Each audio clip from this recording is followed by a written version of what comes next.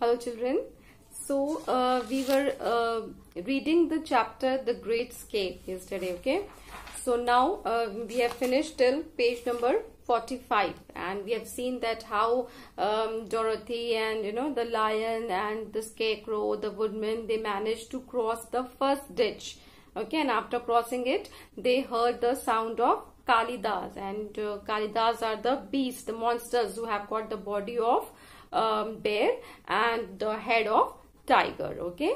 And um, after that they uh, came across another ditch which is the broader one. And looking at this uh, the lion said that he knows that he is not able to uh, means uh, cross this uh, ditch.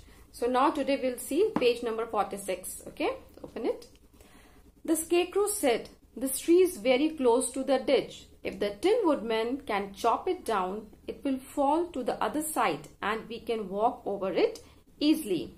So now see the scarecrow is thinks that he has no brain you know and so cleverly he is giving the suggestion. The, scare, the scarecrow said that this tree is very close to the ditch. Uh, means there was a tree which is just close to the ditch and he says that if the tin woodman, woodman means who chops the wood. He says that if the woodman can chop it down, means cut it down, the tree would fall and the other side, the other end of the tree will fall on the other end of the um, ditch. So it, so it will be like a bridge. So it will be easy for them to cross from this uh, one side of the ditch to the other side.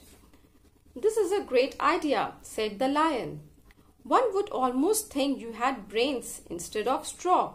Now, the lion said that this is a very good idea that we can, you know, uh, cut the tree and we can cross the ditch by walking on the tree. And the lion also said that who says you don't have brain to scarecrow? You have such a, uh, you are such intelligent, uh, this can scarecrow. You have got brains.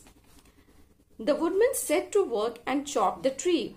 Then the lion put his front legs against the tree and pushed it.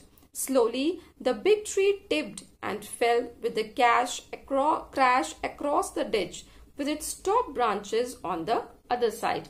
Now, the woodman, he just chopped the tree, he cut the tree and the tree fall, uh, fell down and the lion, he with the help he was actually strong. He put his front legs against the tree. Against the tree means he touched the tree in from the front side close to the tree. And he uh, means made the tree in such a way that the tree uh, means fall from one side of the ditch to the other side.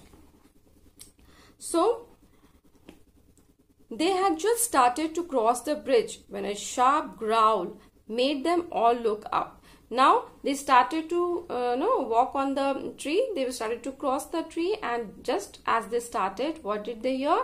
They heard a sharp growl sound means angry sound huge sound they saw two great beasts with bodies like bears and heads like tigers running towards them and who were running towards them Yes, that Kalidahs, that uh, lion have already told them, no, and has told them that they have got a body like bears and head like uh, tigers. So two of them were uh, running towards them.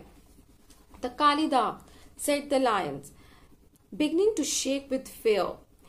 The, stand close behind me. I will fight them as long as I am alive. See, the the lion wanted, uh, you know, courage and see how courageous the lion is how brave the lion is he's not the means he said that he's so afraid of these kalidahs and now see what he's saying that you all hide behind me and i will fight these kalidahs as long as i'm alive so i will try to beat these kalidahs so such courageous actually the lion was and he was not aware of his uh, bravery the lion turned to face the Kalidahs and gave out a loud and terrible roar out of fright.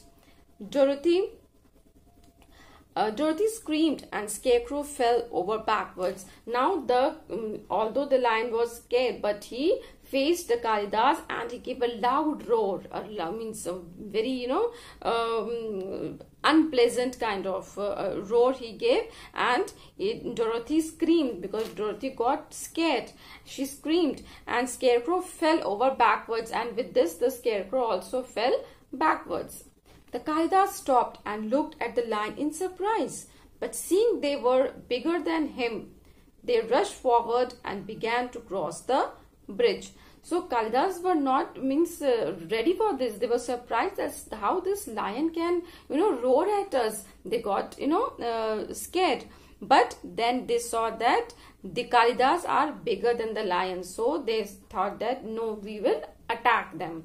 So they began uh, rushing towards and they began cross to cross the bridge. Hurry up, cried the scarecrow. Let us cross over. So scarecrow said that we should hurry up and we should cross the bridge as soon as possible. The four of them crossed the bridge as quickly as they could. Once they reached the other side, the scarecrow asked the Tin Woodman to chop away the end of the tree that was on the other uh, other side of the ditch. So they all crossed the um, ditch, means from one side of the ditch, they all reached the other side. Now what the scarecrow said that uh, he asked the woodman to immediately chop the tree, to cut the tree. So if the tree is cut, the bridge would be broken and these Kalidahs would fall in the ditch only. Quick, cried the scarecrow. So uh, scarecrow asked the woodman to quickly cut the tree. The woodman began to use his axe at once. The Kalidahs had almost crossed the bridge when the tree fell with a crash into the ditch along the beast. Now, the as the scarecrow told the woodman, the woodman means very quickly he started cutting the, means he was made of tin, so already axe and all were there cutting um, in this thing um, object. So he, he started to cut the tree. And the beast these uh, kalidahs were about to reach the other side. But before they could reach the tree was cut and they all the beast all for you can see in the picture the beast they fall into that ditch. Well said the lion drawing a long breath of relief. It means the the lion was feeling very relaxed that finally the beast these kalidahs have fallen into that ditch. Those creatures frightened me so badly that my heart is still beating. Now, uh, means uh, he's saying that they have uh, scared us they have uh, made, uh, all made us so you know uh, frightened and my heart is still beating so when you are frightened your heart beats very you know fast Ah, said the Tin Man sadly, I wish I had a heart to beat. Now the Tin Woodman says that, I wish I also have a heart to beat. So the four travelers kept walking until they could see a yellow brick road and green meadows on the other side of a broad river. Soon they saw a delightful country before them read The Wizard of Oz to find out what happens next. So children, as I told you, it's a very interesting story. But as I told you, this is only a short passage adopted from that book.